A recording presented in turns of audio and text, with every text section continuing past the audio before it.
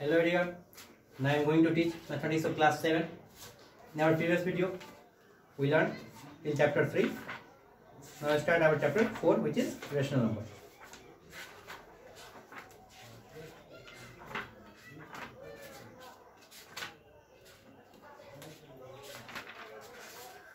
So first we see some definitions related to rational number. For rational number. First, rational number. A number which can be expressed in the form of p by q where p and q are integers and q does not equal to 0 is called a rational number. यानी वैसा number जिसको हम P by Q के रूप में लिख सकते हैं, जहाँ पी और क्यू इंटीजर्स है और क्यू का वैल्यू ज़ीरो नहीं हो सकता है, वो रेशनल नंबर कहलाएगा। इसमें पी जो होता है पी बाई क्यू में पी को हम न्यूमरेटर कहेंगे, और क्यू को हम डिनोमिनेटर कहेंगे।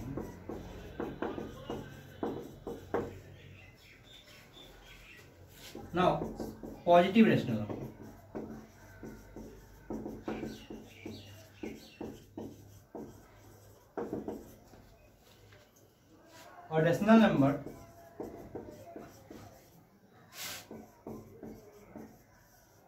said to be positive if its numerator and denominator are either both positive or both negative integers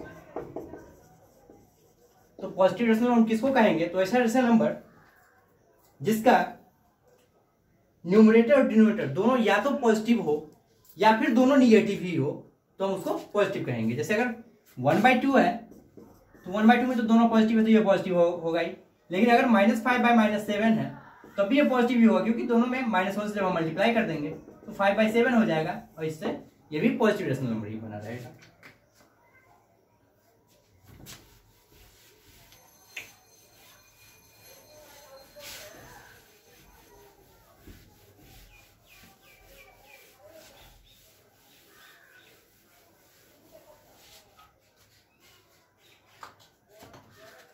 next है negative rational number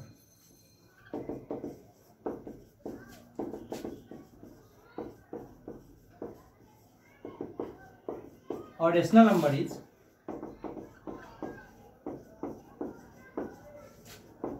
is said to be negative if its numerator and denominator are such that one of them is positive integer and another one is negative integer तो negative rational हम उसको कहेंगे जिसमें numerator या denominator में से कोई एक पॉजिटिव हो और कोई एक निगेटिव हो कोई भी, जैसे अगर वन बाय माइनस टू है, तब भी ये निगेटिव रेशनल नंबर होगा, और माइनस वन बाई टू है, तब भी ये निगेटिव रेशनल नंबर ही होगा। नेक्स्ट है equivalent rational number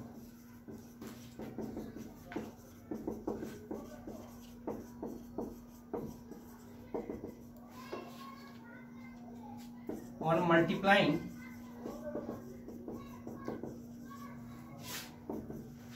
the numerator and denominator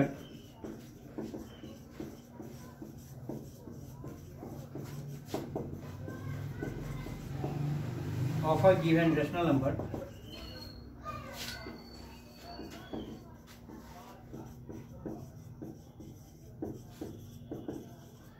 by the same non-zero number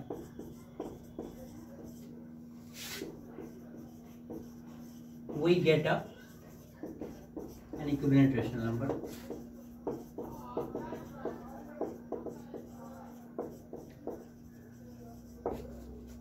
equivalent number क्या है तो on multiplying the numerator and denominator of a given rational number किसी भी रेशनल नंबर के में को हम सेम नंबर से मल्टीप्लाई या डिवाइड ऊपर नीचे कर देंगे दोनों न्यूमिनेटर और डिनोमिनेटर को तो वही हमारा इक्विवेलेंट रेशनल नंबर आएगा। यही कुछ डिफरेंस थे आइए हम एक्सरसाइज स्टार्ट करते हैं।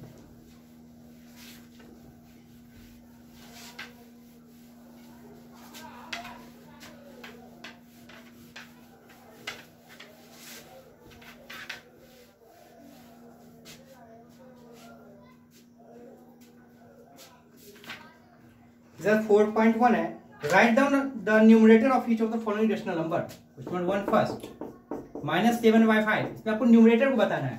तो जस्ट बताया थी कि ऊपर वाले रूम कहेंगे तो numerator equal to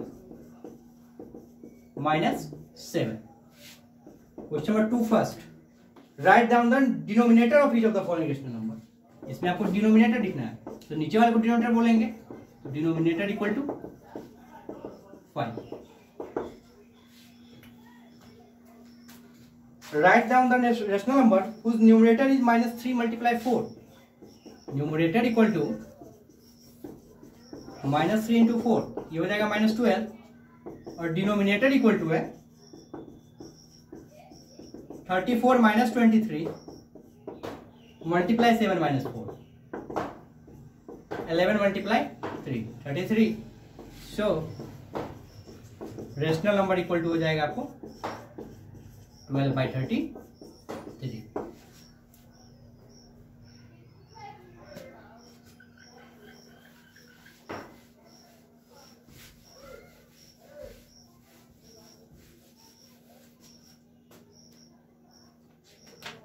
तो फोर पॉइंट वन के ऐसे ही सारे क्वेश्चन को आप बनाएँगे।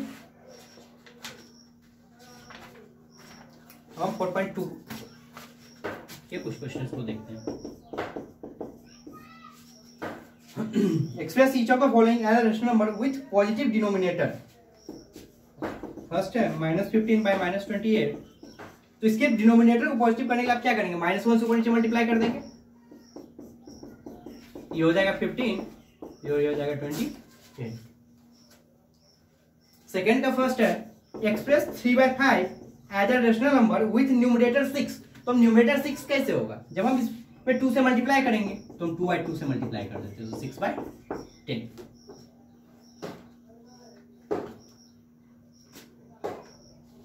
question number six है express minus one ninety two by one hundred eight as a rational number with numerator sixty four तो इसमें कितना से डिवाइड करेंगे तो सिक्सटी फोर आएगा। इसमें हम जब थ्री से डिवाइड करेंगे तो divided by minus three by minus three ये हो जाएगा सिक्सटी फोर और ये हो जाएगा माइनस थर्टी सिक्स तो फोर वन, टू के भी सारे क्वेश्चन को आप सॉल्व करेंगे।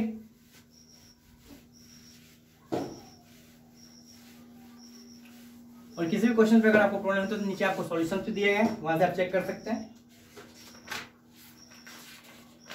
और नेक्स्ट एक्सरसाइज देखते हैं four point three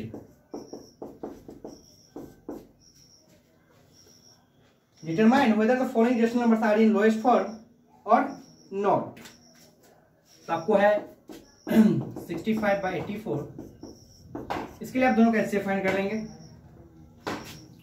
H C F of 65 and 84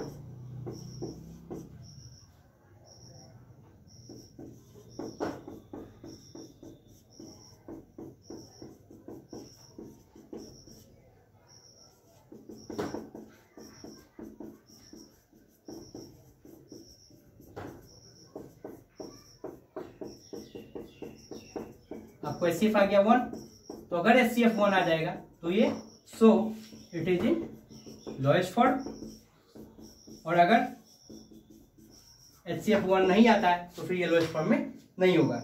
इसी तरह सेकंड क्वेश्चन में express each of the following rational to the lowest form तो आप जो भी दो नंबर दिए हैं, दोनों का फाइंड करेंगे एच सी एफ़ और जितना एच सी एफ़ आएगा, उससे आप ऊपर नीचे डिवाइड कर देंगे तो आपका लोएस्ट फॉर्म में आ जाएगा। तो बच्चों, आपको फोर पॉइंट वन से फोर पॉइंट थ्री तक के सारे क्वेश्चन को सॉल्व करना है। अपने नेक्स्ट वीडियो में इससे आगे बढ़ेंगे। Thank you